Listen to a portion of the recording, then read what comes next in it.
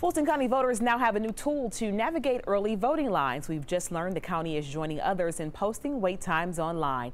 We just checked and every Fulton County precinct is reporting waits of 60 minutes or less with the exception of the library in Milton. If you want to check out those times, we are sharing the link for you, 11alive.com slash vote.